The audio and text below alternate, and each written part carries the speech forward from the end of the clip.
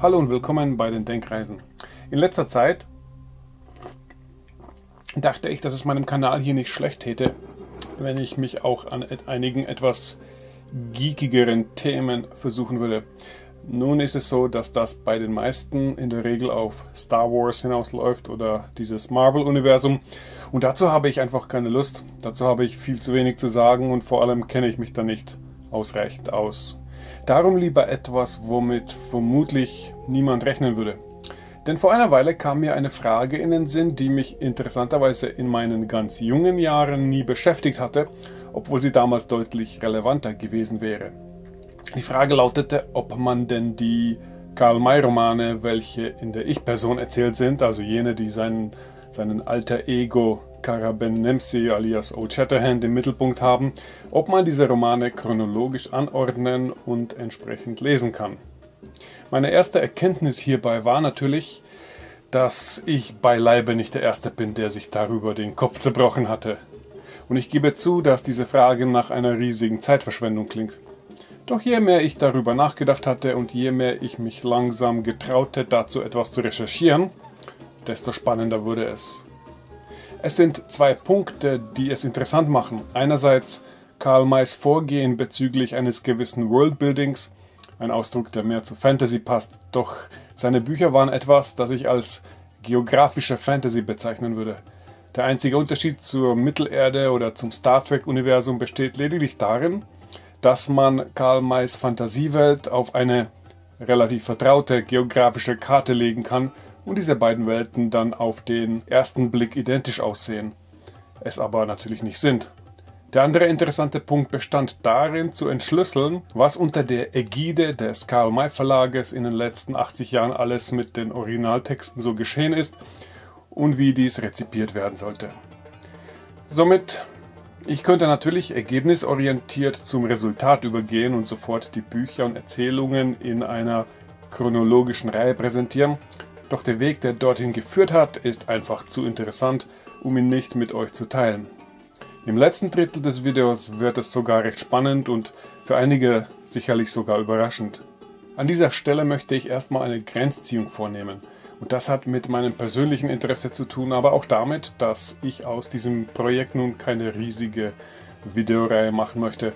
Um es also überschaubar zu halten, möchte ich mich nur an jene Texte halten, die Karabenemse im Mittelpunkt haben, sprich die sogenannten Orientreisen. Als ich mit sechs oder sieben Jahren begonnen hatte, begeistert Karl May zu lesen, hatte ich da alles verschlungen, was man mir da zum Geburtstag schenkte oder was ich bei meinen Großeltern fand. Doch bereits mit neun oder zehn Jahren wusste ich, dass mich die Western-Thematik nicht so reizte und so verlor sich mein Interesse an Winnetou und Old Shatterhand sehr schnell. Reziprok dazu stieg mein Interesse am Orient stetig nach oben und dabei ist es in gewisser Weise bis heute geblieben. Deshalb möchte ich mich bei diesem Projekt nur mit den Wüsten- und Nahostabenteuern beschäftigen.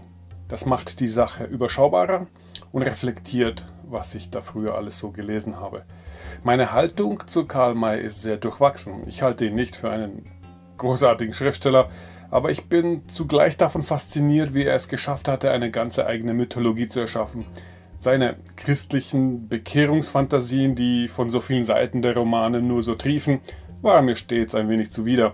Doch die moralische Haltung, die er in seinen Büchern demonstrierte, war stets einwandfrei. Und ja, ich bin mir der Ironie bewusst, dass dieses Moralisieren etwas schwer mit Karl Mays eigener Biografie in Einklang zu bringen ist. Karl May selbst war ein professioneller Trickbetrüger und Zuchthäusler. Sogar noch als Schriftsteller baute er seinen Erfolg auch auf der Prämisse, dies sei ihm alles wirklich passiert und die Geschichten seien echte Reiseberichte. Nun ist es aber so, dass man, wenn ich jetzt ein wenig übertreiben darf, zwei Lager findet unter den Karl-May-Lesern oder Fans. Das eine Lager würde ich gerne als die Puristen bezeichnen, also Leser, die zum Beispiel Wert darauf legen, nur die Originaltexte von Karl May zu lesen. Das ist ein relevantes Thema, denn der Karl May Verlag hat unglaubliche Veränderungen an den Texten vorgenommen, teilweise bis zu einem Viertel des Textes gekürzt, ganze Romane umgeschrieben und Geschichtensammlungen komplett umgestellt. So hat dieses Buch hier und dieses Buch hier, ungeachtet desselben Titels, miteinander eigentlich gar nichts zu tun.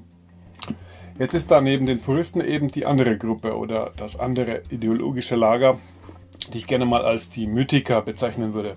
Hier ist man weniger mit den Urtexten beschäftigt, sondern mehr mit der Idee, die Welt Karl Mays als eine neuzeitige Mythologie zu behandeln. Und das gibt einem größere Spielräume und rechtfertigt Veränderungen, wenn sie zugunsten des gesamten Mythos ausfallen. In der Tat werden wir uns in diesem Video nur in der Gedankenwelt dieser zweiten Gruppe bewegen. Und das hat einen klaren Grund. Ähm, und das sage ich gleich mal vorweg. Würde man die ursprünglichen Texte von Karl May zu Rate ziehen, wäre es absolut unmöglich, eine nachvollziehbare Handlungszeit zu erschaffen.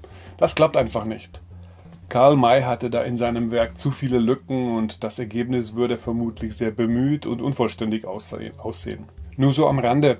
Es ist interessant, dass jemand, der es gewohnt war, trickbetrügerisch tätig zu sein, jemand, der es gewohnt war, vor das Publikum zu treten und ihm seine Fantasien als bare Münze zu verkaufen, dass so jemand derart schlampig war, wenn es darum ging, die kleinen Details am Rande der großen Lüge besser auszuschmücken.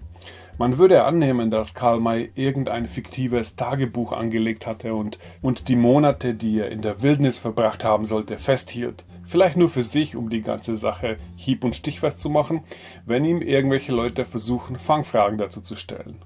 Doch als ihn schon damals der eigene Verlag auf das Thema einer Chronologie ansprach, winkte der Autor nur ab und meinte, für so einen Unsinn hätte er keine Zeit. Begibt man sich nun aber in die mythologisierte Betrachtungsweise, wo letztendlich auch der Leser ein Autor sein kann, ergeben sich plötzlich neue Möglichkeiten, die Pseudoreisebücher in eine schlüssige zeitliche Abfolge zu versetzen. Somit ist es Voraussetzung, dass man nicht nur die sogenannten Bearbeiter als kanonisch ansieht, sondern auch die sogenannten Fortsetzer. Ja, richtig gehört, denn es gibt Karl-May-Romane, die nicht wirklich von Karl May stammen. Ich werde dazu noch einiges erzählen. Aber hier darf man die Arbeit der Fortsetzer nicht einfach so mit, den, mit der entsprechenden Fanfiction verwechseln. Da die grundsätzlichen Themen und Begriffe der Karl-May-Welt seit Jahrzehnten aus der Copyright-Schutzfrist herausgefallen sind, gibt es zum Beispiel einen Verlag, der enthusiastisch neue Geschichten aus der May-Welt veröffentlicht. Und das finde ich absolut in Ordnung, denn das gehört zur Mythologie eindeutig dazu. Aber diese Geschichten sind nicht kanonisch. Das bedeutet, sie schließen zum Beispiel keine Handlungszeitlücken, die Karl May recht zahlreich hinterlassen hatte. Ich meine damit zum Beispiel die zwölfbändige Reihe Kara Ben Nemsi Neue Abenteuer und wie gesagt, ich finde solche Texte gänzlich legitim, da sie ein Teil des Mythos sind. Doch es muss auch klar sein, dass das kein Kanon ist. Das wäre auch unpraktisch, denn wenn man die Summe all der enthusiastischen Fanfiction versuchen würde, in eine Chronologie zu pressen, würde es vermutlich voraussetzen, dass Karl May 300 Jahre alt werden würde. Hinzu kommt, dass die Bearbeiter und Fortsetzer häufig aus dem unmittelbaren Umfeld des frühen Karl-May-Verlages stammten und bereits lange davor Aufsätze zu May publiziert hatten und May-Forschung betrieben. Die Fortsetzerromane sind also allesamt Bücher, die heute auch schon 50 oder 80 Jahre auf dem Buckel haben. Nun sind die Bearbeitungen Gegenstand zahlreicher Streitgespräche und viele der Veränderungen werden auch mal gänzlich abgelehnt. Diesen Aspekt möchte ich an dieser Stelle relativ unbeantwortet lassen, da die Aufgabe dieses Videos nicht darin besteht, das zu analysieren und zu beurteilen. Mir geht es ausschließlich um die Handlungszeit und dieser lässt sich nur dann zufrieden rekonstruieren, wenn man die Arbeit der Bearbeiter und Fortsetzer als kanonisch ansieht. Dreht sich dabei Karl May dennoch im Grabe um? Nein, eindeutig. May war vermutlich sehr eitel, was seine Texte betraf und wäre wegen all den Hunderten und Hunderten Modifikationen entsetzt gewesen. Aber vielleicht wäre es ihm ein Trost gewesen, dass er nun mal einen volksliterarischen Mythos geschaffen hatte und ein solcher Mythos erfährt unentwegt Veränderungen, da hierbei schließlich nicht die wörtliche Form wichtig ist, sondern die Essenz der Geschichte, also ihr Charme und ihre Moral. Begraben wir also dieses Problem an dieser Stelle und widmen uns ausschließlich der Chronologie. Hierzu hatte ich zwei Erkenntnisse erlangt. Erstens hatte der prominenteste Bearbeiter und Fortsetzer Franz Kandolf bereits 1923 eine Handlungszeit erstellt.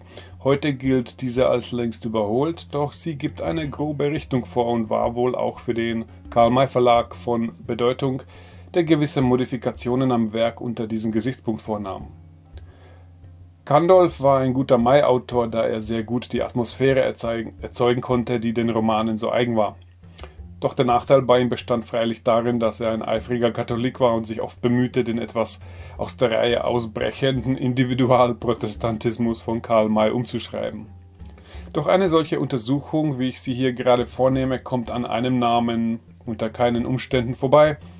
Ähm, Hans Imgram hatte sich des Problems der Handlungszeit wie kein anderer angenommen. Er begann hierzu auch ein Reisetagebuch von Karl May zu verfassen. Ihm gelang es, alle kanonischen Werke in eine einheitliche Reisechronologie zusammenzufassen. Und das ist eine erstaunliche Leistung. Sein Karl-May-Tagebuch erschien dann 2015 unter dem Titel Chronik eines Weltläufers. Es gibt für mich keinen Grund, das Rad neu zu erfinden und somit möchte ich für dieses Video hier vollständig die Imgram-Chronologie übernehmen. Aber der einzige Nachteil dabei ist, dass der Karl May Verlag immer wieder neue Bastelarbeit an einzelnen Werken vornimmt, insbesondere die Kurzgeschichtensammlungen. Einzelne Stories rutschen dann aus einem Buch heraus und in das andere Buch hinein. Manchmal werden auch größere Kapitel in kleinere zerschlagen etc. Also sind einige Bezüge zu einzelnen Bänden bei Hans Ingram inzwischen etwas veraltet, was nicht seine Schuld ist. Es sind winzige Details und theoretisch könnte man dies auch vernachlässigen, wenn man sich bei den betreffenden Büchern nur an jene Ausgaben halten würde, die zum Beispiel vor 20 bis 40 Jahren erschienen sind. Doch ich hatte lieber die Veränderungen aufgespürt und die Imgram-Chronologie auf diese Weise angepasst oder abgedatet. Hinzu kommt, dass zwischenzeitlich ein neuer Roman herausgekommen ist, den ich als kanonisch einstufen würde. Es ist Franz Kandolfs Maradurime-Roman, der bereits 1944 geschrieben worden ist, jedoch erst in 2017 veröffentlicht wurde unter dem Titel Die Söhne des Sheiks. Dieses Material stand Hans Imgram seinerzeit noch nicht zur Verfügung. Er hatte in seiner riesigen Arbeit insgesamt zehn Orientreisen von Karl May identifiziert. Ich habe hier also eine elfte Orientreise angelegt. Von diesen elf Orientreisen waren zwei sehr große Reisen, die jeweils über 20 Monate gedauert hatten, während andere Reisen im Schnitt nur sieben oder acht Monate dauerten. Es sind aber auch Reisen dabei von vier oder fünf Wochen. Übrigens nicht in Betracht kommen bei dieser ganzen Angelegenheit die Romane Der Derwisch und die Sklavenkarawane, ähm, die zwar beide Orientabenteuer sind, doch ohne einen Ich-Erzähler, respektive ohne Karaben Nemsi. Ebenso nicht in Betracht kommen die Bücher Ardistan, der Mir von Dschinnistan und Abdan Effendi, die zwar Karaben Nemsi und Haji Halef Omar Abenteuer sind, doch diese Spätwerke sind komplett in fiktive Welten angesiedelt und lassen sich somit nicht auf den klassischen geografisch orientierten Stil von Karl May anwenden. Karl May hatte an einigen Stellen die Handlung seltsam fragmentiert. So beinhalten in einzelnen Fällen manche Bücher massive Rückblenden, die oft mehrere Kapitel lang sind, oder sehr lange Epiloge, die oft eine eigene Erzählung darstellen. Ich vermute, in manchen Fällen geschah dies einfach nur, weil die Story des eigentlichen Zyklus für ihn erledigt war, aber 60 Seiten zu kurz ausfiel. Also klatschte er noch eine kleine Erzählung ans Ende, die oft aus einer ganz anderen Zeit stammte. Diese Fragmentierungen habe ich also nach Imgram aufgebrochen und sämtliche Kapitel und Stories ausschließlich chronologisch geordnet. Was die Methode betrifft, wie eine solche Handlungszeit bestimmt respektive festgelegt werden kann, nun, man muss es zuerst alles lesen und hierbei auf die Details achten, da Karl May immer wieder Querverweise auf vorangegangene Abenteuer liefert, mal deutlich, mal sehr undeutlich. Das allein würde aber kaum ausreichen, aber es gibt immer wieder gute Orientierungspunkte, die helfen, eine Chronologie zu ermöglichen. So gibt es Erzählungen, die eindeutig Prä-Halef sind, also in Bezug auf Haji Halef Omar, der zum ersten Mal in, im ersten Kapitel von Durch die Wüste auftaucht. Da hat man also schon mal eine Gruppe aus Erzählungen, die eindeutig davor liegen. Nach der Shoot gibt es eine Reihe Erzählungen und Kurzgeschichten, die Halef bei den Hadedin zeigen. Hier teilt es sich aber in zwei Abschnitte auf. Einen frühen Abschnitt als Ahmad al-Gandur, der Sohn von Mohammed Emin, äh, Häuptling der Hadedin ist und eine darauffolgende Phase, in der Halef selbst der Sheikh der Hadedin ist. Ein weiterer Marker ist zum Beispiel die Geburt und das Alter von Kara Ben Halef, dem Sohn von Haji Halef Omar. Hey, ich habe doch nerdige Sachen versprochen. Ein anderer Marker sind zum Beispiel die Begegnungen mit Krüger Bay. Karabenemsi begegnet ihm, glaube ich, insgesamt dreimal. Einmal in der Erzählung der Krumir, einmal in dem stark überarbeiteten Band Allah il Allah und dann im zweiten Band von Satan und Iskariot. Und so weiter. Das ist also eine unglaubliche Mosaikarbeit, die ich nun nicht leisten musste, weil das bereits Hans Ingram hervorragend umgesetzt hat. Am Ende mag man sich noch fragen, wozu das alles? Es hat keinen tieferen Sinn, das gebe ich zu. Aber das haben 5000 Analysevideos zu Thanos und Iron Man auch nicht. Mir behagt es eben mehr, bei diesem Video einen weniger betretenen Pfad zu begehen. Ich wette mit euch, dass dieses Video hier das einzige seiner Art ist im gesamten YouTube. Das ist doch immerhin etwas. Ansonsten bietet sich hier die Möglichkeit an, sämtliche Karabenemsi-Abenteuer ausschließlich chronologisch, also in einer linearen Handlungszeit zu lesen. Und um ehrlich zu sein, nach all der Recherche könnte ich das auch gar nicht mehr anders lesen. Ich werde übrigens auch ein simples PDF-Dokument auf meinen Server stellen und lasse unter dem Video mal einen Download-Link, falls jemand tatsächlich die Lust haben sollte, eine solche Leseerfahrung zu machen oder einfach nur diese chronologische Übersicht besitzen möchte aus sentimentalen Gründen. Vermutlich müsste man in einem Krankenhaus lange ans Bett gefesselt sein, um das auf sich zu nehmen. Oder man ist einfach nur ein Fan, der all die Jahre nur auf eine Gelegenheit gewartet hatte, genau dies zu tun. Die meisten Karl-May-Bände findet man heute antiquarisch für einen Euro oder zwei das Stück. Die nachträglichen Arbeiten der sogenannten Fortsetzer sind da aber deutlich teurer. Da sollte man schon 15 bis 20 Euro pro Band in die Hand nehmen. Das war also ein wenig Theorie vorweg, kommen wir nun zum eigentlichen Thema.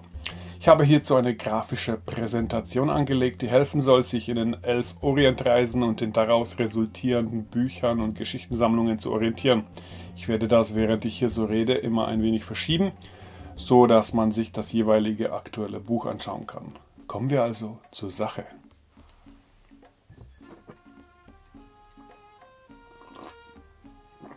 Jener Augenblick, in dem Karl May alias Old Shatterhand Nordafrika betritt, ist in keinster Weise strittig.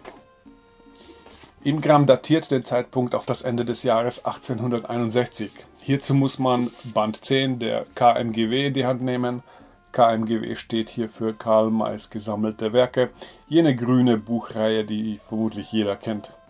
Der Band 10 trägt den Titel Sand des Verderbens und beinhaltet insgesamt fünf unterschiedliche Erzählungen oder Kurzgeschichten, die allesamt in unterschiedliche, unterschiedlichen Perioden angesiedelt sind und teilweise einzelne Teilabschnitte einer größeren Reise abdecken. Dieser Band ist in einer ähnlichen Zusammenstellung zu Karl Mays Lebzeit auch schon unter dem Titel Datteln und Orangenreisefrüchte aus dem Oriente erschienen. Die erste Erzählung mit dem Titel Die Gumm ist also das erste Orientabenteuer. Karl May ist hier noch kein Karabet Nemsi, ein Name, den ihm Haji Halef Omar erst viele Jahre später geben wird. Karl May hat zu diesem Zeitpunkt bereits fast ein Jahr in Nordamerika verbracht, ein Abschnitt, der von dem Roman Winnetou I und dem ersten Teil von Winnetou II weitgehend abgedeckt wird. Karl Mays erste Orientreise beginnt in Algier. Er ist nach Nordafrika gekommen, um eine lose Verabredung mit dem Abenteuerreisenden Emery Bothwell einzulösen, den May aus dem Wilden Westen kennt und der zu diesem Zeitpunkt deutlich erfahrener und weltgereister ist. Die beiden finden sich auch und nehmen an einer Löwenjagd teil, doch zugleich lernt Karl May in Algier eine französische Familie kennen und wird damit mit einem Entführungsfall vertraut gemacht. May und Emery Bothwell brechen darum nach Südalgerien auf, um den entführten Mann zu befreien. Die Gumm ist eine relativ kurze Reise von höchstens drei Monaten, wobei nur die ersten 70 Prozent der Reise von May detaillierter beschrieben werden. Karl May würde über fünf Jahre nicht in den Orient zurückkehren. Seine Aufmerksamkeit galt in diesen Jahren dem Pazifik und Südamerika, festgehalten in dem Sammelband am Stillen Ozean und dann erneut Nordamerika festgehalten in Winnetou II. Doch in 1867 findet eine fast viermonatige Reise zurück in die Sahara statt, festgehalten in der Erzählung der Krumir und ebenfalls in dem Sammelband Sand des Verderbens zu finden. Diese Erzählung wurde ebenfalls stark abgeändert, insbesondere zugunsten einer logischeren Einordnung in den Kanon. In der ursprünglichen Version ritt der Protagonist zum Beispiel auf dem Pferd Ri, etwas, das natürlich keinen Sinn ergibt, da er Ri erst durch Mohammed Emin viele Jahre später kennenlernte und einige tausend Kilometer weiter östlich. Deshalb sehe ich die Bearbeitung einiger Texte nicht so streng, äh, wie es die Puristen tun, da häufig eben unlogische Elemente bereinigt wurden. Und diese unlogischen Elemente sind häufig etwas, was mich ja beim Lesen eher in Wahnsinn treiben würde. In der heutigen Version schildert der Krumir äh, Karl Mays Abenteuer in Tunesien. Unterwegs mit einem Diener namens Ahmed gerät May auf die Spur eines Wüstenräubers und verfolgt ihn bis ins südöstliche Tunesien an den Schott Rarsa. In dieser Erzählung lernt Karl May auch den bereits genannten Krüger Bey kennen, dessen Figur sehr lose auf einer historischen Gestalt basiert. Karl May würde weitere vier Jahre nicht in den Orient zurückkehren. Diese Zeit würde er überwiegend in Nord- und Südamerika verbringen, doch in 1871 bricht er zu einer seiner größten Reisen auf, die später häufig als der Orientzyklus betitelt wurde oder auch Karabenemsi im Reiche des Großherren. Nun ist es so, dass Karl May solche großen Projekte gerne in media res begann. So beginnt der Zyklus eigentlich sehr genau an in jener Region, die in der Krumir beschrieben wurde. Doch nun ist Karl May bereits Karabednemsi und an seiner, an seiner Seite ist bereits Haji Halef Omar, sein Diener, der ihm ständig droht, ihn zum Islam zu bekehren. Natürlich war das viele Jahre eine stetige Versuchung, einen Schritt zurückzugehen und den nie erzählten ersten Abschnitt dieser Reise zu schreiben. Diese Aufgabe bewältigte schließlich der 1962 geborene Schriftsteller Jörg Kastner mit seinem Buch Haji Halef Omar, das auch Hans Imgram für kanonisch hält. Der Roman hatte ursprünglich die Oase des Scheiterns geheißen und ist ein extrem charmant geschriebenes Buch, das wunderbar die Ereignisse nach Karl Mays Ankunft in Algier und dem Beginn von Durch die Wüste mit einem tollen Abenteuer ausfüllt. Das Buch geht damit nahtlos in den Band 1 der KMGW, das berühmte Durch die Wüste. Da es uns nun um die Handlungszeit geht, sollte man an dieser Stelle Durch die Wüste nur bis zum Ende des dritten Kapitels lesen. Es ist so, dass durch die Wüste einen sehr großen Reiseweg erfasst, beginnend am Schott el Djerid in Südtunesien bis hin zum südlichen Kurdenland im heutigen Nordirak. Karl May beschreibt in den ersten drei Kapiteln seine Erlebnisse in Tunesien, doch das vierte Kapitel geht bereits in Kairo weiter. Da klafft also eine große Lücke, die Überquerung von Libyen und Westegypten. Diese Lücke wurde auf eine recht abwegige, doch irgendwie auch filigrane Art und Weise geschlossen. Der Karl May Verlag hatte hier Karl Mays voluminösen Kolportageroman Deutsche Herzen, deutsche Helden an der Hand. Darin befand sich das Kapitel Die Königin der Wüste. Dieser Kolportageroman hatte nun gar nichts mit Kara Ben Nemsi zu tun und so setzte man den damaligen Karl May Fachmann Franz Kandolf, aber auch andere Sachbearbeiter an den Fall dran und begann diesen Text so umzuschreiben, dass er in den Orientzyklus hineinpasste. Dabei kam der Roman Allah il Allah heraus, Karl May wäre vermutlich entsetzt gewesen, doch obwohl dieses Buch eine Art Frankensteins Monster ist, liest es sich nicht schlechter als Mays eigene Schreibe. Nun wird es aber auch ein wenig kompliziert, denn Allah in Allah besteht aus acht Kapiteln, doch im Rahmen der Handlungszeit darf man an dieser Stelle nur die Kapitel 1 bis 7 lesen. Da das achte Kapitel eine Art längerer Epilog oder Nachtrag ist, der zeitlich viel später liegt, wir kommen zu diesem Buch also nochmal zurück. Nun kann man also endlich zurück zu Durch die Wüste gehen und hier das restliche Buch lesen, sprich Kapitel 4 bis 20. Nun bleibt es eine Weile recht unkompliziert, denn die folgenden vier Bände können komplett linear gelesen werden. Also die KMWG-Bände 2, 3, 4 und 5, namentlich durch das wilde Kurdistan, von Bagdad nach Stambul, in den Schluchten des Balkan und durch das Land der Skipetaren. Den Abschluss des Orientzyklus bildet der Roman Der Schut. Diesen kann man nun getrost in einem Aufwasch lesen, doch halt nur die Kapitel 1 bis 12. Dahinter befindet sich ein recht langer Epilog mit dem Titel Mein Rie, der aber in eine viel spätere Zeit vorgreift. Da ich aber diese Strecke rein chronologisch aufbaue, gilt es, dieses Buch vorzeitig wegzulegen vorerst. Doch dafür kommt nun nochmal der Roman Allah il Allah zur Geltung mit dem achten Kapitel, über das ich vorhin gesprochen hatte, und damit ist der Orientzyklus abgeschlossen. Garabed Nemsi verwandelt sich wieder in Karl May und kehrt nach Hause zurück. Er verordnet sich eine Zeit der Erholung und Rast, doch diese dauert nur zwei Monate.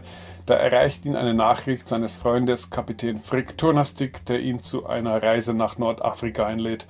Die beiden kennen sich aus der Südsee. Die Reise geht von Antwerpen über Marseille nach Tunis. Dies ist eine kurze Reise, die insgesamt nur knapp über einen Monat dauert. Karabenemsi gerät mit einem fanatischen Moslem aneinander, der ihm schließlich nach dem Leben trachtet. Doch Karl May kann ihn unweit der tunesischen Stadt Sfax bekehren. Dies ist eine der extrem naiven Wüstengeschichten, ebenfalls zu finden in dem Sammelband Sand des Verderbens unter dem Titel Christus oder Mohammed. Doch mit nur 40 Seiten ist es eine der kürzeren. Ich wäre allerdings kaum gewillt, sie noch ein zweites Mal in diesem Leben zu lesen. In den darauffolgenden zwei Jahren begibt sich Karl May als Old Shatterhand zurück nach Nordamerika, unternimmt auch eine Ostasienreise, doch nun wird es wieder etwas kompliziert. Denn am Ende des Jahres 1874 bricht er zu einer diesmal wieder längeren Reise in das einstige Mesopotamien auf, also in die Region des Euphrat und Tigris, wo der Stamm der Hadidin seine Zelte hat, dessen Ehrenmitglied Karaben Nemsi letztendlich ist. Diese Reise ist vermutlich am meisten fragmentiert und ergibt nur ein recht unvollständiges Bild ab. Wir können die Reise also nur anhand einzelner Kurzgeschichten rekonstruieren. Das mag ein wenig enttäuschend sein, doch umgekehrt kann man es auch als eine gewisse Herausforderung ansehen. Für den Anfang brauchen wir die Geschichtensammlung Der Löwe der Blutrache und daraus die Kurzgeschichte Himmelslicht, die sich unweit von Bagdad abspielt. Nun wird es aber ein wenig verrückt, aber bei näherer Betrachtung ergibt es vollkommen Sinn. Für die nächste Phase brauchen wir das Buch Im Sudan, also der dritte Band von Karl Mays Mahdi-Trilogie. Eine wichtige Reise, die erst später kommen wird, doch hier befindet sich am Ende des Buches ein umfassender Rückblick, der ganze acht Kapitel lang ist und rein chronologisch eigentlich hierher in diese Reise gehört. Also aus diesem Buch erstmal nur die Kapitel 6 bis 13 lesen. Als nächstes braucht man das, den Kurzgeschichtenband Das Zauberwasser und daraus die beiden Stories Das Gurdenkreuz und Shefakas Geheimnis. Ähnlich geht es dann mit dem Geschichtenband auf fremden Pfaden weiter. Hier sollte man in dieser Reihenfolge die beiden Kurzgeschichten Maria oder Fatima und die Blutrache lesen. Damit ist alles abgedeckt, was zu dieser fünften Orientreise vorhanden ist. Hans Imgram hatte sie auf rund zwölf Monate geschätzt und in die Jahre 1874 und 1875 datiert. Diese Reise böte auf jeden Fall noch einiges Potenzial für neue Prosa welche die Lücken dieses Reiseverlaufs schließen würde. Vielleicht möchte sich jemand dieser Herausforderung stellen und ein Fortsetzer werden. Allerdings lässt sich der Karl May Verlag auch mal 30 oder 40 Jahre Zeit, bis sie ein bereits abgeschlossenes Manuskript in ihre Reihe aufnehmen und damit kanonisieren. Die kommenden zwei Jahre verbrachte Karl May in Nord- und Südamerika und erst in 1878 bricht er zu einer neuen Orientreise auf, um weiter in die libysche Sahara und die Welt der Tuareg vorzudringen. Für diese sechste Orientreise brauchen wir erstmal den Sammelband Halbblut und daraus die Geschichte von Mursuk bis Kairouan. Karl May reist mit einem Schiff an und macht einige Wochen Halt in Tunesien und Nordlibyen, vorrangig mit dem Ziel, Krüger Bay wieder zu treffen, doch die Dinge laufen anders als geplant. Kara Benemsi verbringt noch einige Wochen in den Tiefen der Sahara und erkundet Südlibyen, über den Punkt hinaus, den er seinerzeit in seinem ersten Sahara-Abenteuer die Gum erreicht hatte. Hier gilt es wieder Band 10 der KMGW zu nehmen, also Sand des Verderbens, und hieraus die gleichnamige Story Sand des Verderbens zu lesen. Hans Imgram schätzt den Aufenthalt in dieser Region, bevor Mai nach Kairo reiste, auf fast fünf Monate.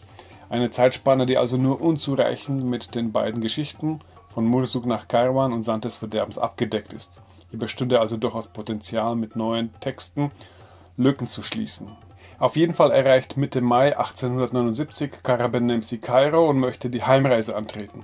Doch da wird er in ein neues Abenteuer verwickelt und beginnt auf dem Nil die Reise nach Süden, hier beginnt also die eigentliche Macht-Trilogie, angefangen mit Menschenjäger, einem Band, den man nun komplett und ohne Abschweifungen durchlesen kann. Das geht dann genauso weiter mit dem Band 2, der Mahdi. Auch hier kann man unterbrechungsfrei das ganze Buch lesen. Der dritte Band im Sudan ist wieder etwas spezieller. Hier gilt es, die Kapitel 1 bis 5 zu lesen. Und hat man das getan, die nächsten acht Kapitel zu überspringen und das restliche Buch, also Kapitel 14 bis 18 zu lesen.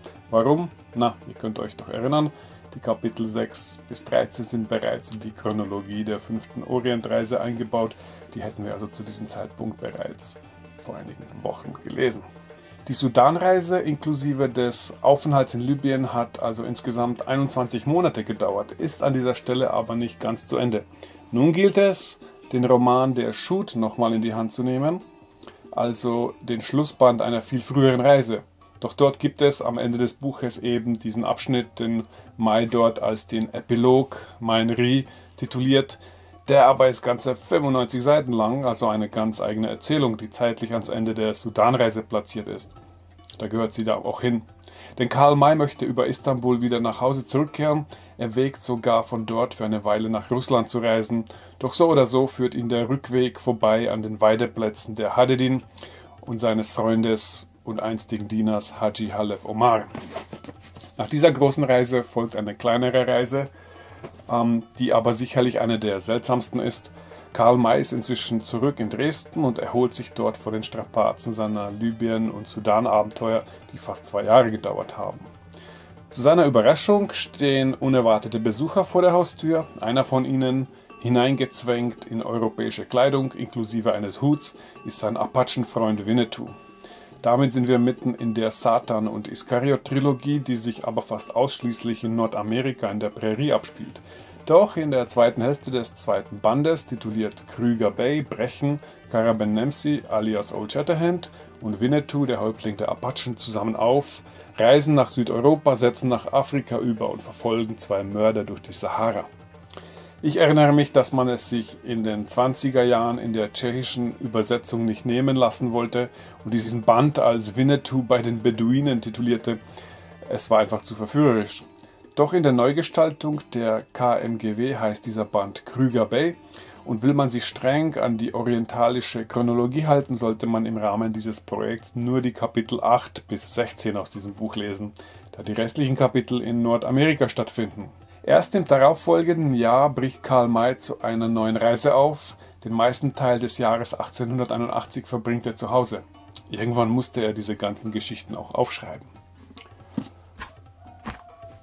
Die sogenannte achte Orientreise ist sichtlich am schlechtesten dokumentiert. Nirgendwo sonst bietet sich größeres Potenzial an, noch vorhandene Lücken zu schließen, um diese achte Reise vollständiger festzuhalten. Wir haben von einer siebenmonatigen Reise, die letztendlich zurück nach Südägypten und in den Sudan ging, nur zwei Fragmente. Zuerst gilt es da also wieder Band 10, Sand des Verderbens zu nehmen und hier die letzte Geschichte, der Raubzug der Bagara zu lesen. Eine Short Story, die gerade mal 27 Seiten lang ist und sich westlich des Weißen Nils abspielt. Als nächstes braucht man den Sammelband auf fremden Pfaden, das ist Band 23.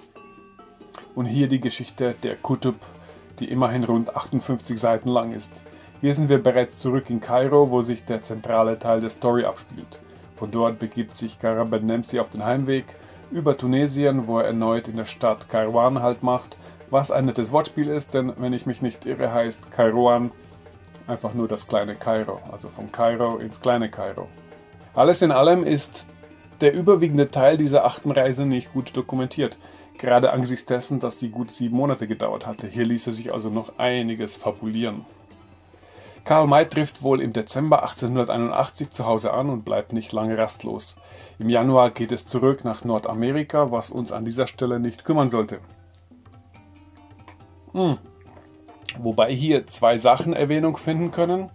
Zum einen liegt nach Ingram in diesem Abschnitt, also das Jahr 1885, der Tod von Winnetou, doch einige Monate davor hat Old Shatterhand in der nordamerikanischen Prärie eine Begegnung mit einem reichen persischen Prinzen, der dort unterwegs ist. Würde man diesen Abschnitt studieren wollen, müsste man den Sammelband Der Löwe der Blutrache lesen. Ähm, genau hier. Und hierbei die erste Erzählung Tokei Chun in Angriff nehmen.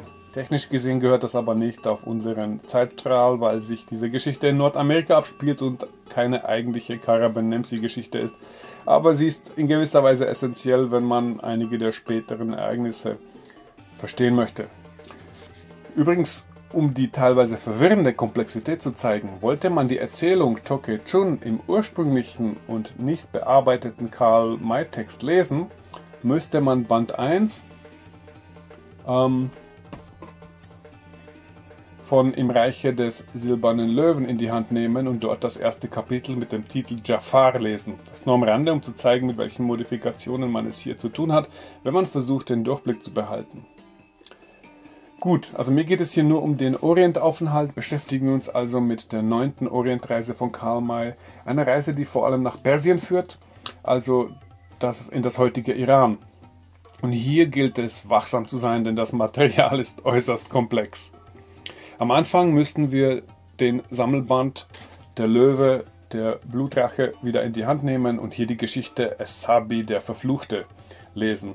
Das ist nun eine Abweichung von Hans Imgram, doch eine zwingend notwendige Abweichung, denn seit Imgram die Chronik eines Weltläufers geschrieben hatte, veränderte der Karl May Verlag erneut den Inhalt von Der Löwe der Blutrache und bei den Trümmern von Babylon. Dazu kommen wir gleich. Ähm, diese Geschichte hier zum Beispiel hatte sich damals noch in dem Sammelband Das Zauberwasser befunden und ist nun in Der Löwe der Blutrache verschoben worden. Das hier ist also nun der Versuch eines Updates angesichts der neuen Veränderungen. Auf jeden Fall ist in dieser Geschichte Karabenemsi allein unterwegs zu den Haredin, die irgendwo im heutigen Irak oder in Jordanien zelten. Doch dies ist ein kurzes Abenteuer, das ihm auf dem Weg hin im südlichen Anatolien widerfährt.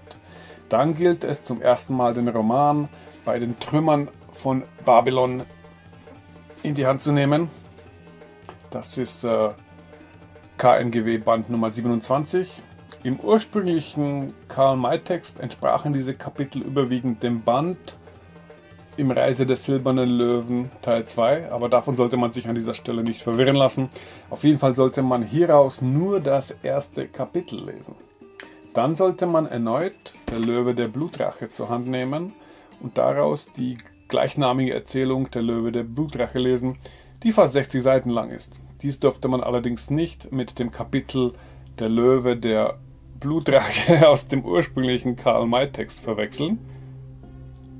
Denn dieses Kapitel ist in Wirklichkeit identisch mit dem ersten Kapitel von Bei den Trümmern von Babylon. Das nur um zu zeigen, wie verwirrend das ist, wenn man das erstmal versucht, alles aufzuspüren. Aber davon nicht verwirren lassen. Das behalte ich jetzt gleich mal hier in der Hand. Denn dort geht es eben weiter, nun mit den Kapiteln 2 bis 16, also bis zum Ende des Buches. Dann kann man es jetzt auch weglegen. Als nächstes ist dann wieder die Geschichtensammlung Der Löwe der Blutrache dran. Mit diesmal mit ähm, der Geschichte Ein Rätsel. Das ist nun mit 174 Seiten fast ein eigener Roman. Dies ist nun eine relativ neue Überarbeitung und ich will auf die Verschiebungen und Modifikationen gar nicht im Detail eingehen, da einem sonst der Kopf zu explodieren droht.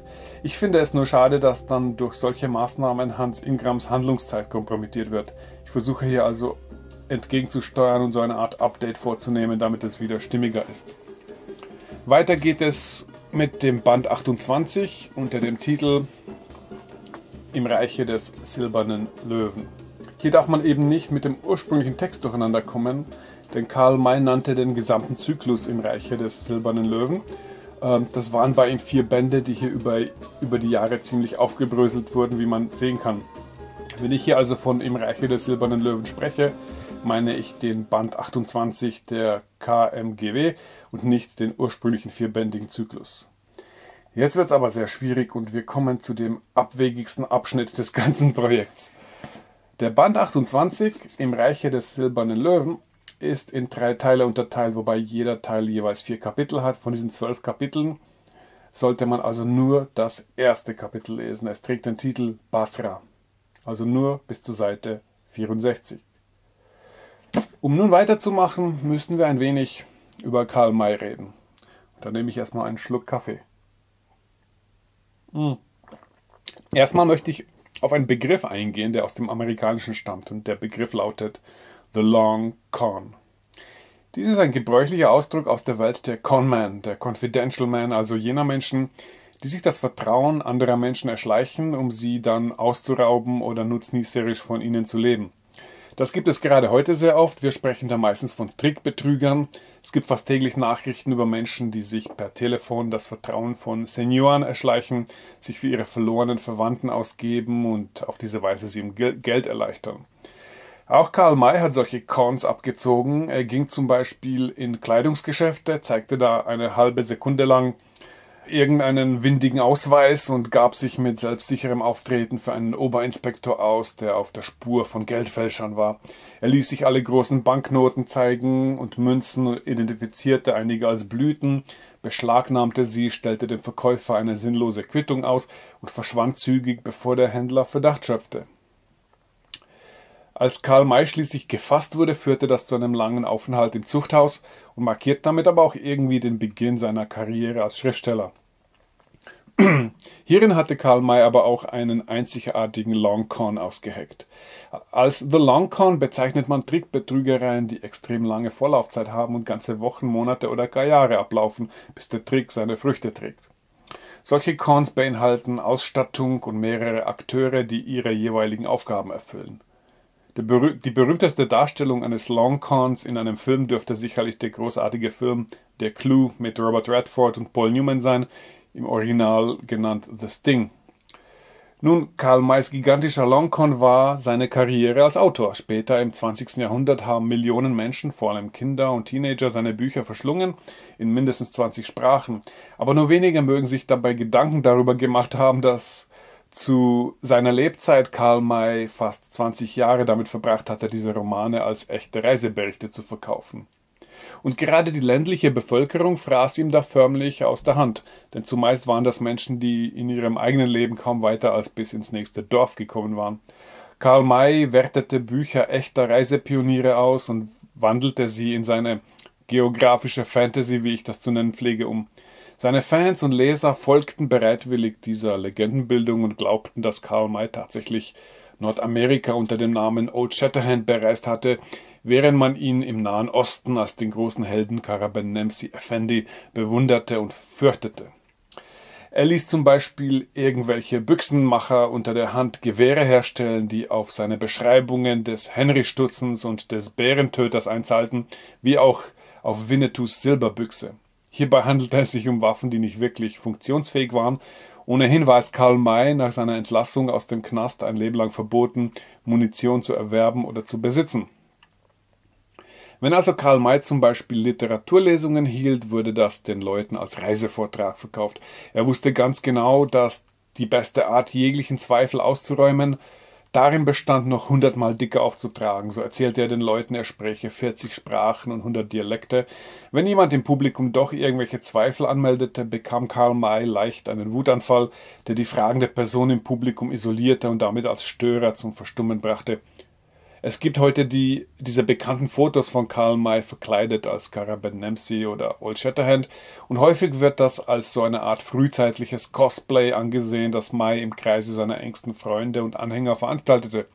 Und das stimmt zum geringen Teil durchaus, aber es fing als etwas an, das letztendlich die Aufgabe hatte, die Echtheit seiner Behauptungen zu untermauern. Es war die Ausstattung eines der faszinierendsten Cons jener Ära. So etwas hatte es auch in der Neuzeit immer wieder gegeben. Ein berühmtes Beispiel wäre der sogenannte Dr. Lobsang Rampa, der in Wirklichkeit Cyril Henry Hoskin hieß und einen Bestseller mit dem Titel Das dritte Auge schrieb. Hoskin gab sich für einen tibetischen Lama aus mit übersinnlichen Fähigkeiten und präsentierte seinen Roman als eine Autobiografie. Er war natürlich weder Tibeter noch war er ein Doktor und äh, er wurde unter anderem von keinem geringeren als Heinrich Harrer entlarvt, dem Autor von Sieben Jahre in Tibet. Interessanterweise führte auch Karl May seit 1875 einen Doktor vor seinem Namen, ohne jemals eine Universität von innen gesehen zu haben. Aber für ihn, einen professionellen Trickbetrüger, war das noch die geringste Übung. Für einen Conman ist ein erfundenes Doktorat immer spannend, denn er weiß, wie viele Menschen vor akademischen Titeln automatisch den Kopf verneigen, was die Durchsetzung des Cons erleichtert. Aber die Zeit schritt fort, das 19. Jahrhundert neigte sich dem Ende zu und wir nähern uns damit einer Zeit, in der bereits Reiseschriftsteller wie Sven Hedin oder Wilhelm Filchner Artikel schrieben und bald schon ihre Bücher herausbrachten. Darin berichteten sie über ihre echten Abenteuer in genau denselben Ländern und Regionen. Da war natürlich keine Ähnlichkeit mit der Maischen Metarealität. Ohnehin war das so, dass Karl May zu erfolgreich war und man längst begonnen hatte, ihn in Berlin wahrzunehmen. Seine Romane und seine abwegige PR-Methode prallten somit auf Rezensenten und Journalisten, die gebildet und bewandert waren. Es mochte ja so sein, dass bei Intellektuellen seine Artikel und Bücher schon vorher Stirnrunzeln und ungläubiges Kopfschütteln ausgelöst haben. Doch sein wachsender Erfolg als Bestsellerautor begann nun viele Leute richtig zu ärgern. Und so gab es manch einen Publizisten, der Karl May nun auf dem Kieker hatte. Es lag nahe, dass Karl Mays Masche eben auch andere Gauner anzog. May war erfolgreich und so witterten andere Schattengewächse schnelles Geld. Ein gutes Beispiel war Rudolf Lebius, der eine Art linker Politiker, Journalist und frühes SPD-Mitglied war, später aber auch ein eifriger Antisemit. Ähnlich wie May hatte auch Lebius gewisse Zeit im Knast gesessen, in seinem, in seinem Fall wegen verleumderischen Publikationen, was seine Spezialität war. Er besuchte May in Radebeul und wollte auf den Longcon-Zug mit aufspringen, sozusagen einen Teil des Kuchens abgreifen. Er schlug May vor, für ihn als eine Art PR-Agentur, den Begriff gab es damals natürlich noch nicht, zu arbeiten, vorausgesetzt Karl May wäre bereit gewesen, ihm ein substanzielles Darlehen zu geben. Es war de facto eine Erpressungsmasche. Karl May lehnte ab und mied fortan Lebius. Dieser startete dann tatsächlich eine Art Enthüllungskampagne gegen May in diversen Zeitschriften und Zeitungen. An einer Stelle bezeichnete er Karl May sogar als den Kopf einer Gaunerbande. Karl May und Rudolf Lebius verstrickten sich fortan in über 20 Gerichtsprozessen, die bis zu Karl Mays Tod anhielten. Ein anderer Fall war der Kirchenkritiker und Publizist Hermann Kardauns, der zugleich eine Art investigativer Journalist war, der sich auf die Entlarvung literarischer Trickbetrüger spezialisierte. Da war es nun eine Frage der Zeit, dass er den Bestsellerautor May ins Visier nahm, den er als abgrundtief unsittlich bezeichnete und für eine Gefahr für die Jugend hielt. Die ganze Idee, dass Karabenemsi alias Old Shatterhand all das erlebt haben sollten, begann wie ein Kartenhaus zusammenzubrechen. Der Long Con hatte einfach seine Haltbarkeit überschritten und drohte Mai ins Gesicht zu explodieren. Hinzu kam, dass nach 20 Jahren ununterbrochenem Rollenspiel Karl Mays Fähigkeit zwischen Realität und Fantasie zu unterscheiden zunehmend gelitten hat. May hatte so viele Jahre am Stück diesen Long Con gelebt, dass sein Gehirn viele Aspekte daraus als eine Art moralische Wahrheit oder Realität deutete. Das führte natürlich zu absurden, extrem grandiosen Stellungnahmen, so behauptete er zum Schluss während eines Vortrags, er spreche 1200 Sprachen und Dialekte und dass der verstorbene Winnetou ihm die Häuptlingschaft über sämtliche Apachenstämme vermacht hätte.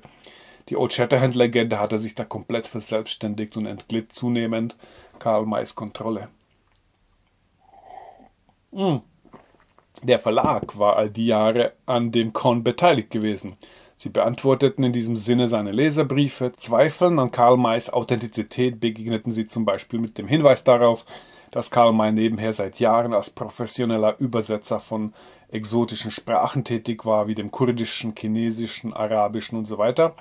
Diese Behauptung hatte May lange zuvor selbst verbreitet, so dass dies auch als Eintrag in, gewisse, in gewissen Lexika erschien. Solche Sachen kommen auch in unserer Zeit vor. So hatte der damals noch junge Quentin Tarantino am Anfang seiner Karriere behauptet, er hätte eine Nebenrolle in Jean-Luc Godards obskurer König Lear-Verfilmung aus den 80er Jahren gespielt, gewahr dessen, dass kein Producer oder Künstleragent in Hollywood sich einen solchen Arthouse-Schinken zu Gemüte führen würde. Witzigerweise landete das so in einigen Filmlexika. Doch zurück zu Karl May. Was nun folgt, ist etwas, das die Karl-May-Forschung unter dem Begriff Bruch im Bau zusammenfasst. Ein Begriff, der auf den frühen Mai-Forscher Otto Eike zurückgeht, den ich hier noch erwähnen werde. Über Mai brauten sich also bereits eine ganze Weile dunkle Wolken zusammen, Journalisten schrieben hämische Artikel über ihn, es gab Plagiatsvorwürfe und alle möglichen Leute hatten starke Lust verspürt, seine Fantasiewelt komplett platzen zu lassen. Und man warf ihm sein religiöses Geschwafel vor, das in der Tat in einigen Romanen dick aufgetragen ist, und bezichtigte ihn darum der Heuchelei. Karl May mied fortan Kritiker, doch der Verlag hatte eine deutlich aufwendigere Idee. May sollte eine Weltreise absolvieren und viele Fotos von dort mitbringen und damit den Kritikern etwas Luft aus den Segeln nehmen. Sie bezahlten ihm das auch mit einem stattlichen Budget. Auf diese Weise würde auch etwas Gras über die Sache wachsen, da die Journalisten sich bis dahin mit etwas anderem beschäftigen würden, als ständig auf Karl May einzudreschen. So begann die berühmte Karl-May-Reise. In 1899 betrat May im Alter von 57 Jahren zum ersten Mal den Orient. Er war da in Begleitung seiner Frau Emma, mit dabei war das befreundete Ehepaar Richard und Clara Plön. Karl May würde drei Jahre später Clara Plön heiraten, nur drei Wochen nach seiner Scheidung von Emma. Clara Blön hatte später bezeugt, dass Karl May während seiner echten Orientreise zweimal einen kompletten Nervenzusammenbruch erlitten hatte, in einem Maße, dass man gefürchtet hatte, ihn in eine psychiatrische Anstalt einliefern zu müssen. Hier brach also ein Jahre und Jahrzehnte gepflegtes Luftschloss zusammen, insbesondere da May vermutlich gehofft hatte, dass seine Fantasiewelt und die echten Länder, die er nun bereiste, zumindest bis zu einem gewissen Grad identisch waren. Doch der Orient des Jahres 1900 sah ganz anders aus. Es gibt natürlich allerlei amüsante und unschmeichelhafte Anekdoten aus dieser Zeit, wie Karl Mays Ankunft in Kairo, wo er dann erstmal vier Stunden durch die Innenstadt gelaufen war, bis er endlich das eine Restaurant gefunden hatte, wo Deutsch gekocht wurde. Da war also nichts mit einer sofortigen Verwandlung in Karaben Nemsi Effendi und dem Abtauchen unter die lokale Bevölkerung. Die meisten Fotos zeigen Karl May mit Tropenhelm vor typischen postkartenartigen Motiven. Nach seiner Rückkehr war Karl May allerdings nicht mehr gewillt, seinen naiven, abenteuerlichen Reiseromanstil fortzusetzen. Diese Erfahrung markiert einen Bruch in seinem Werk und eine Zuwendung zum Symbolismus hin und zu einer eher abstrakten Literatur.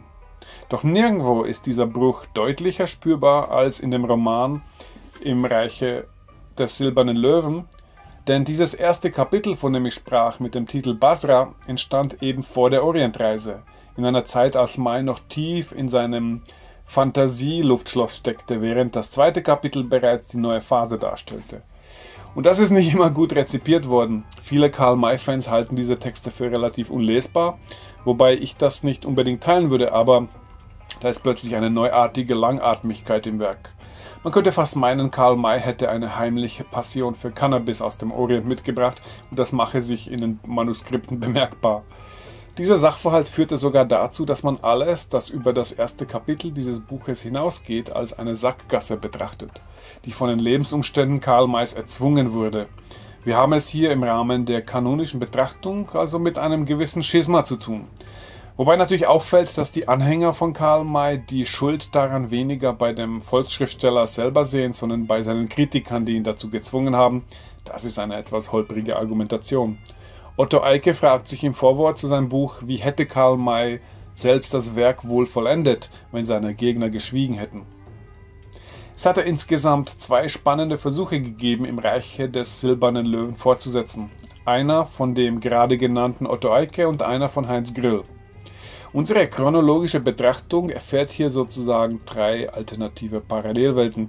Sehen wir uns also diese Gabelung genauer an. Es gibt hier drei Wege. Oben sehen wir den von Karl May ursprünglich eingeschlagenen Weg. Hier bräuchte man also nur im Reiche des Silbernen Löwen weiterzulesen und anschließend dessen Fortsetzung das versteinerte Gebet Beide Texte entsprechen in ihrer ursprünglichen Fassung letztendlich den beiden Bänden im Reiche des Silbernen Löwen 3 und 4. Hier kommt Karl May als Abenteuerschriftsteller komplett zum Stillstand. Meist, die meiste Handlung spielt sich im Haus des Ustad ab und besteht aus Unterhaltungen zwischen den beiden. Da schwebt auch die Atmosphäre eines Geisterromans über der Handlung. Es gibt zwar auch ein wenig Spannung, doch stellt sich diese deutlich hinter die eher vergeistigten Gespräche und Gedanken, die hier im Vordergrund stehen. Karl May, dessen Schreiber stets so übertrieben nach außen gekehrt war, verwandelt sich nun radikal in einen Verfasser, der sich auf die Reise nach innen spezialisiert. Die Texte erinnern stellenweise mehr an etwas, das man von Gustav Meyring oder K. Hermann Hesse erwarten würde, wobei dies nicht als Vergleich gedacht ist. Wenn man nun den mittleren Pfad anschaut, so müsste man nach dem besagten ersten Kapitel von Im Reiche des Silbernen Löwen als nächstes nach dem Roman Die Schatten des Scheinschar greifen, einer gelungenen Fortsetzung von Heinz Grill.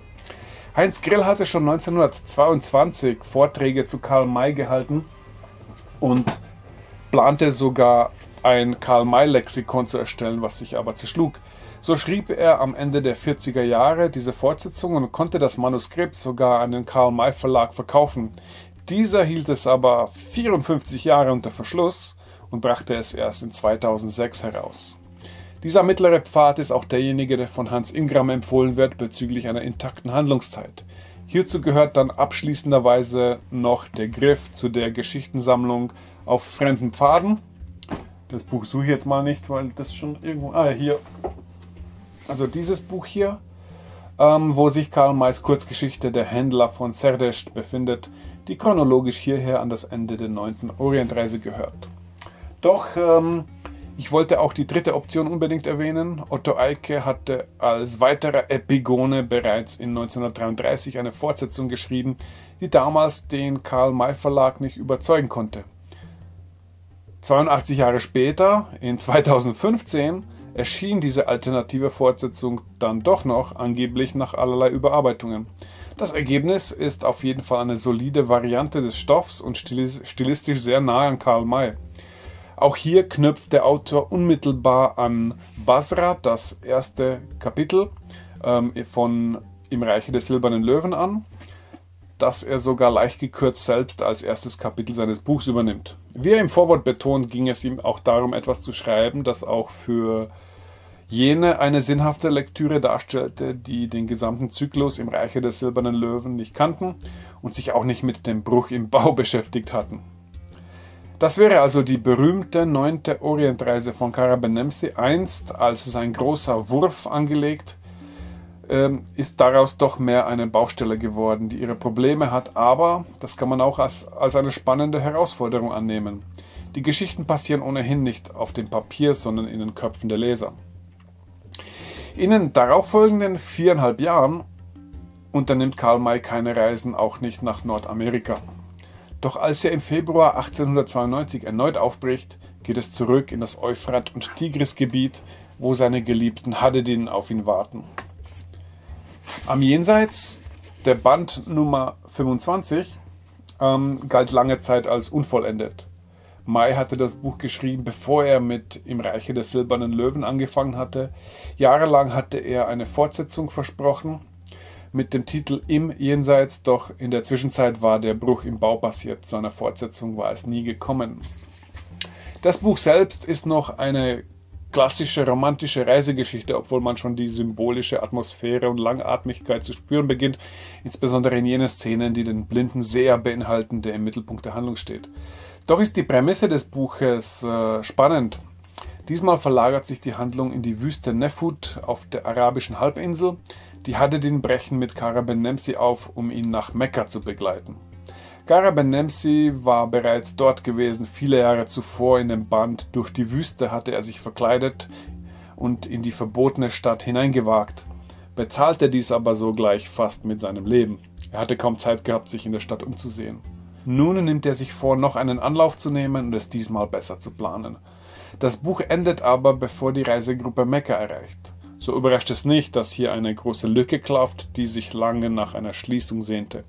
Angenommen hatte sich diese Aufgabe einer der Diadochen des Karl-May-Erbes, nämlich Franz Kandolf, der bereits maßgeblich an jenem Remix beteiligt war, der zu dem Roman Allah il Allah geführt hatte. Ihr könnt euch vielleicht erinnern. Herausgekommen ist dabei sicherlich einer seiner besten Beiträge zum Karabenemse-Universum unter dem Titel In Mekka. Natürlich ist dies bei den Puristen umstritten, da letztendlich klar war, dass Karl May hätte eine Fortsetzung geschrieben, dieser bereits tief in seinen neuen Symbolikstil ausgearbeitet hätte, während Kandolf ganz hart am klassischen romantischen Karl May-Stil geblieben war. Aber ich vermute, die meisten Leser haben es ihm eher gedankt. Streng nach Hans Imgram enden hier die Reisen. Im Herbst 1893 unternimmt Karl May noch eine kurze Reise nach Nordamerika, die letztendlich dem Nachwort von Winnetou 3 entspricht. Doch da gab es noch eine mächtige Lücke im Werk, die lange Zeit nach einem Beitrag schrie. Karl May hatte bereits in Durchs wilde Kurdistan und von Bagdad nach Stambul eine Figur geschaffen, die ihm stark am Herzen lag und seinen religiösen Vorstellungen entsprach, die stark in Marienverehrung ihren Ausdruck fanden. Die Rede ist von der geheimnisvollen Mara Durime. Am Ende des dritten Bandes seiner Mahdi-Trilogie schrieb er sogar noch, sein nächstes Buch werde Mara Durime heißen, doch dazu kam es nie. Allerdings spielt später die weise Greisin Mara Durime eine prominente Rolle in den beiden Ardistan- und Dschinnistan-Büchern. Diese beiden Romane sind dann aber reinste Fantasy und somit auch nicht Teil meiner Betrachtung hier. Franz Kandolf hatte einen Maradurime-Roman wohl in, in, den 40er Jahren geschrieben, kurz vor seinem Tod. Doch blieb dieses Manuskript bis auf private Zirkulation unbekannt. Der Karl May Verlag hatte ihn erst in 2017 herausgegeben und zwar unter dem Titel Die Söhne des Sheiks. Auch hier gilt natürlich eine gewisse Kontroverse, denn es war recht klar, dass Karl May einen Maradurime-Roman tief in seinem symbolischen Spätstil verfasst hätte. Doch Gandalf entschied sich eindeutig dagegen und erschuf damit ein Pastiche, das sehr am klassischen Abenteuerstil von Karl May orientiert ist. Sir David Lindsay taucht wieder auf und es werden interessante Anknüpfungen gemacht, zum Beispiel auf die ominöse Kurzgeschichte Himmelslicht, die bezüglich der Handlungszeit am Anfang der recht brüchig belegten fünften Orientreise steht. Alles in allem ist Die Söhne des Scheiks ein schöner Abschluss der Karabenemsi-Ära. Ich deklariere es hiermit als die elfte Orientreise. Und damit sind wir am Ende dieses Videos. Die besagten elf Orientreisen weisen noch große Lücken auf. Gerade was die fünfte, aber vor allem die achte Reise betrifft, ließen sich hier noch mindestens fünf umfangreiche Romane schreiben, welche der Handlungszeit nach Hans Ingram entsprechen und damit Chancen hätten, kanonisch zu werden. Wer hebt den Federhandschuh auf und stellt sich der Herausforderung? Bis zum nächsten Mal.